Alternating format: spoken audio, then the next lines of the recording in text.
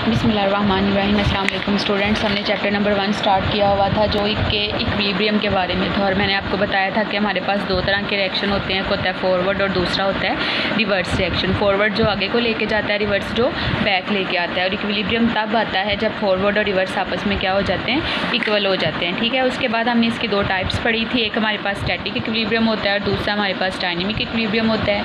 उसके बाद हमने ग्राफ के थ्रू इसको एक्सप्लेन किया था कि किस तरह जो होता है इक्विलिब्रियम का रेट पहले फॉरवर्ड का आस्ता आस्ता कम होता जाता है और रिवर्स का आस्ता आस्ता ज़्यादा हो जाता है, एक पॉइंट पे दोनों क्या हो जाते हैं, मिल जाते हैं। उसके बाद हमने कैरेक्टरिस्टिक्स पढ़ी थी डायनेमिक इक्विलिब्रियम की, फिर लॉ ऑफ़ मैथ सेक्शन पढ़ा था हमने। आज जो लॉ ऑफ़ मैथ सेक्शन पढ़ना है, वो जनरल रिएक्शन के तौर पर पढ़ना है। जो उस दिन पढ़ा था, वो हमें वैसे ही आएगा कि state law of math section and explain या प्रूव इट ठीक है?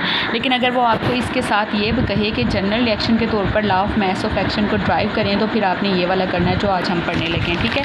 इसको करने के लिए आपने पहले अपनी बात याद रखना है लॉ ऑफ़ मैथ सेक्शन के तौर पर कि जो आपका लॉ ऑफ़ मैथ सेक्शन है, इसमें हमारा इक्विलिब्रियम कॉन्स्टेंट आता है और जो केसी होता है वो डायरेक्टली प्रोपोर्शनल होता है प्रोडक्ट्स के और इन्वर्सली प्रोपोर्शनल होता है रिएक्टेंट्स के। ये मैंने आपको पहले भी बताया हुआ है, ठीक है? क्लियर हो गया?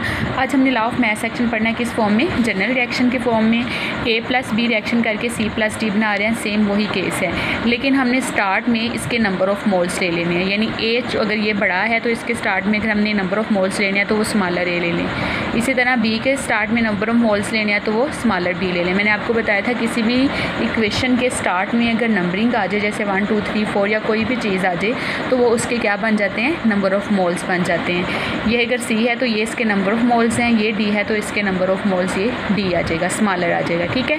और आपने अब ये देखना है कि किस तरह नंबर ऑफ़ मोल्स होते हैं, इनके क्या बन जाते हैं? कोफिशेंट्स बन जाते हैं। सबसे पहले हम देखेंगे कि हमारा जो रेट है फॉरवर्ड रिएक्शन का, वो डायरेक्टली प्रोपोर्शनल है ए के और बी के। मैंने आपको बताया था कि फॉरवर्ड वो होता है जो किसी को आगे लेके जाए। तो आगे लेके जाने के लिए एक ए है और दूसरा बी है। इस ए के जो नंबर ऑफ़ मोल्स हैं, वो इसके कोफिशेंट बन गए हैं। इस बी के नंबर ऑफ़ मोल्स इसके कोफिशेंट बन गए।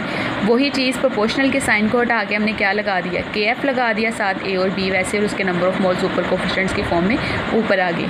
इसी तरह rate of reverse direction proportional है किसके? सी और डी के। सी और डी उसके ऊपर आ गए, ठीक है? प्रोपोर्शनल के साइन को हटा के हमने के आर लगाया। के का मतलब कॉन्स्टेंट और आर का मतलब रिवर्स यानी रिवर्स कॉन्स्टेंट जो है रिवर्स डायरेक्शन के लिए। ये मैंने आपको पहले भी बताया हुआ है। इक्विलिब्रियम पे फॉरवर्ड और रिवर्स डायरेक्शन का रेट इक्वल आ जाता है। दोनों की वैल्यू यहाँ पे पुट कर दी गई।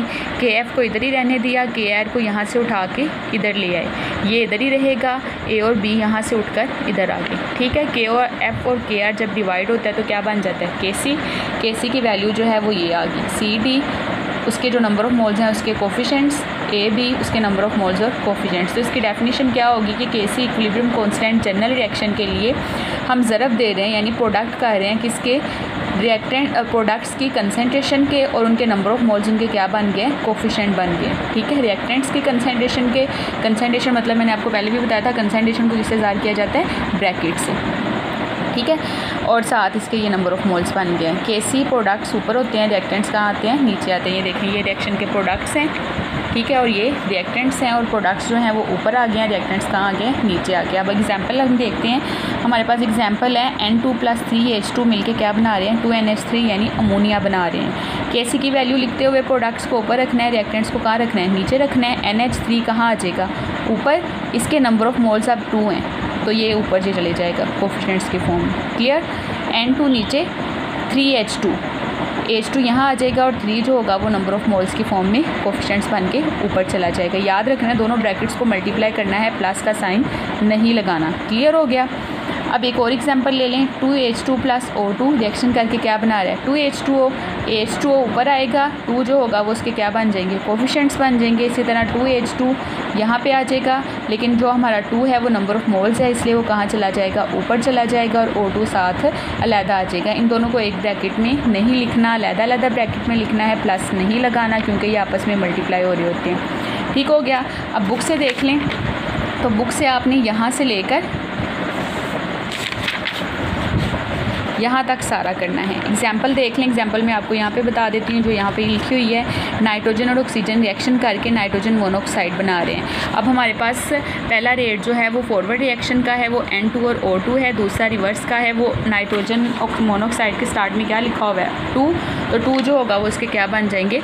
ऊपर कोफिशेंट्स में चले जाएँगे। कैसे की वैल्यू लिख देनी है। इसी तरह ये जो एग्ज़ाम्पल है, ये मैंने आपको बता दी। यहाँ तक आपने इसको करना है। और मैं उम्मीद करती हूँ कि जो बच्चे मेरा लेक्चर सुन रहे हैं काइंडली वो एटलीस्ट दो बार इसको लिख के मुझे चेक करवाएँ, ताकि मुझे पता हो कि मैंने जो आपको पढ़ाया है, मैंने जो मेहनत की है, मैंने जो लिख के दिखाया है, मेरे बच्चे उसको फॉलो कर रहे हैं। तो काइंडली इसको एटलीस्ट दो बार मुझे लिख के लाजमी दिखाएँ।